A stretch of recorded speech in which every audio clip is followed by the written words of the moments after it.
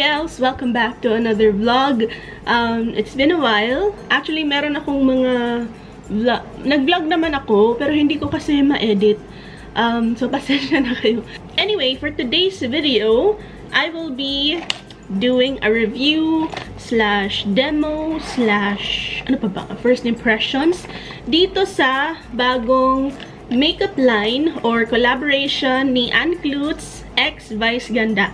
So, meron silang actually, nagbigay sila ng ganito. Parang, bakit ganito yung bangs ko, no? Weird. Anyway, ayun na nga, nagbigay sila ng parang brochure. Avon yan. Okay, so first, pag-usapan natin ang una yung nakikita, which is this pouch. I really, really like this small pouch. Parang makeup kit, ganon. Kasi it's black, tapos meron siyang parang clear na window dyan. So, makikita mo kung ano yung nasa laman ng iyong makeup pouch. The um, zipper is gold. And, yung handle ng zipper, tama ba handle ng zipper? May nakasulat na Vice. Diba? Ang cute-cute. I really, really like it. Tapos, ano siya, um, parang soft leather. Pleather, fake leather, ganon. Ang ganda ha. Tapos you can get this um, makeup kit or makeup pouch for only 100 pesos with a minimum purchase of 995 pesos. Bongga! Diba? Exclusive dito. O, diba? Tapos, tandaran! Ayan na yung laman. Ito na yung full eye kit ni Vice X Anclutes. Ayan, I'm so excited! Okay. So, first things first, they have a brow brush, dual-ended brow precision brush. I really, really like the colors that they chose, black and gold. On one end, you have the brow brush mismo, very slim and precise. I'm excited to try this out. And on the other end, you have the spoolie. So, ganito yung itsura ng spoolie nila. In fairness, gusto ko kasi medyo mahaba and it's slim. Tapos, hindi siya ganun katigas, hindi masakit sa skin. Okay, and then next, since merong brow brush, se siyempre, syempre, dapat meron tayong brow pomade. Looks like that. Ang ganda all day. And on this side, merong nakasulat na Vice. Sa bottom, you will see yung details nitong brow pomade na to. Nako, hindi ko mabasa. Wait lang. So, this one is paraben-free, cruelty-free, tapos vegan. It will last for 10 months after opening. And meron siyang nilalaman na 4.12 grams, which I think is pretty good para sa isang brow pomade. Also, this one is only 295 pesos, which I think is a very competitive price para sa isang brow pomade. Like, first impressions, meron siyang weight para siyang mamahalin na product in fairness. Parang high-end na product. Um, very social yung packaging. Very social ang feel.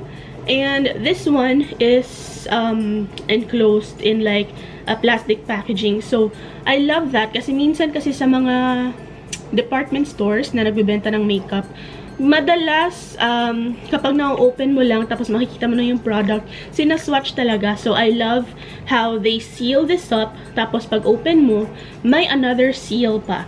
Kasi diba kapag pomades, mabilis mag-dry up yung product.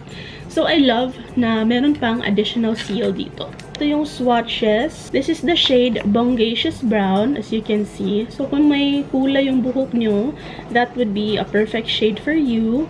And this one naman is in the shade Sweet Lang Brown. So, I think that would be perfect for me. Medyo ashy na gray-brown color kasi dark yung hair ko. So, yan yung gagamitin natin later. And they have another brow product dito sa Anganda All Day Collection.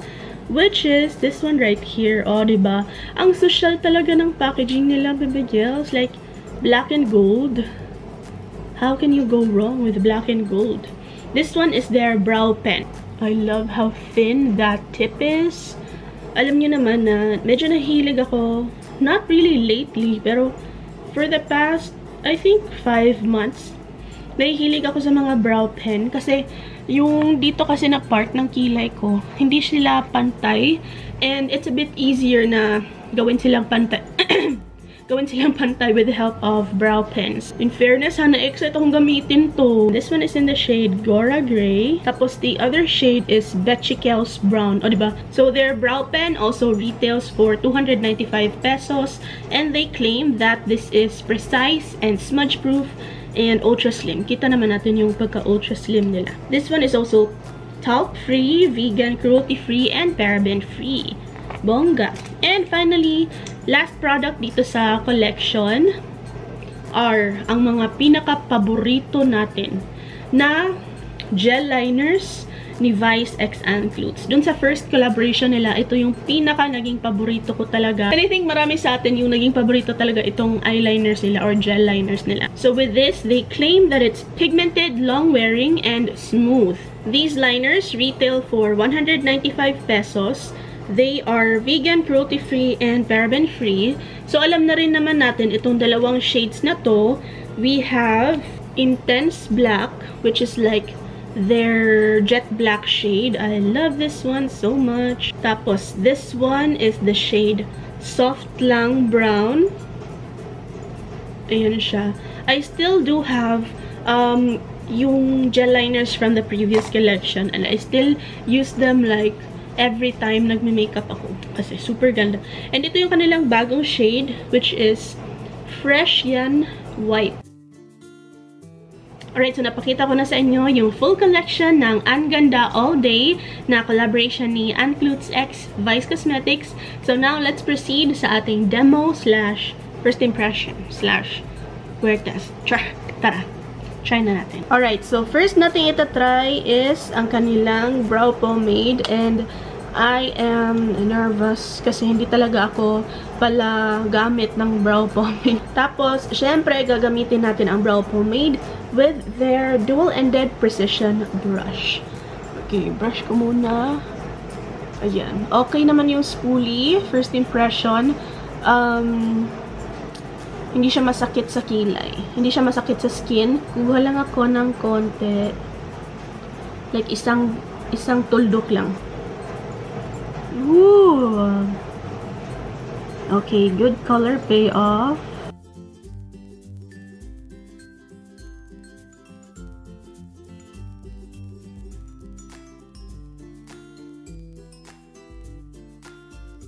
Okay, so there you go. Tapos ko na itong isang kilay na to. Medyo, hindi siya ganun kaganda. Especially dito, sa outer part.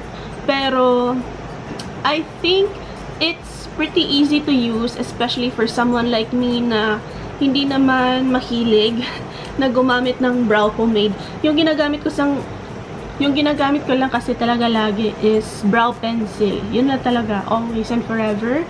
So, this is something new for me, pero it was pretty easy to use naman in fairness. I like it. Also, lumakas na naman yung ulan, so pasensya na. Um, na-receive ko tong collection na to 2 days ago, pero hindi ko siya ginawa kasi super lakas nga ng ulan dito sa Cebu. Um, so yeah, pasensya na. Ayan, ayan na yung kilay natin.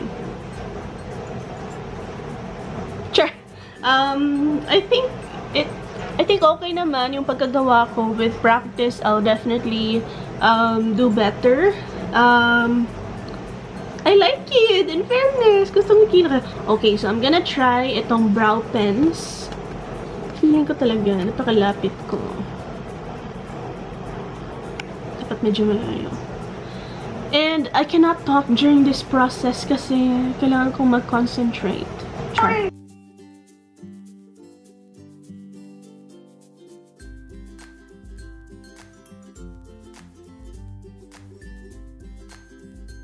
Okay na yan for me.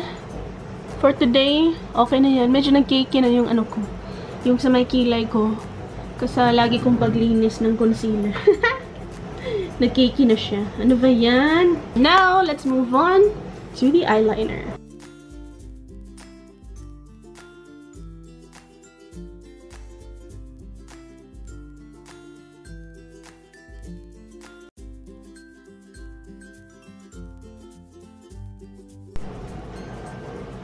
Ayan, tapos ko na po ang aking eyeliner and the rest of my makeup.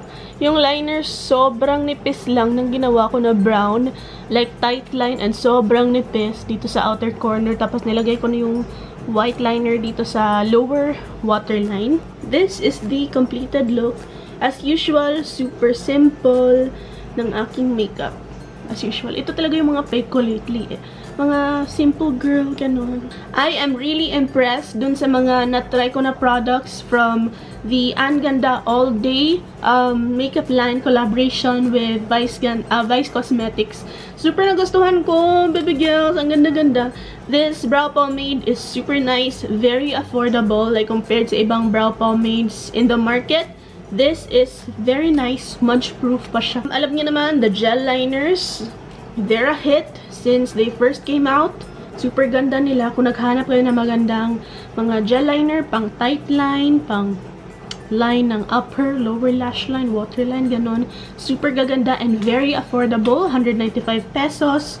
The brow pens are also very, very nice. Um, super nipis ng kanilang tip. And very easy to create hair-like strokes with this one. I'm actually really impressed with the entire collection. Like, pinag-isipan talaga lahat. Very well formulated. The packaging is very yayamanin. Like, ang social sa makeup bag, di ba? Um, so yeah, I love everything. No keme. And thank you so much, Miss Anne and Vice Cosmetics for sending this my way. Even like the makeup bag is really, really, really bonga. Like, ganda, no? Ganda. Thank you so much, baby girls, for watching. I will leave more information in the comment, uh, comment description box below. And I love my makeup today. So, thank you for watching. I love you. Bye. Mwah.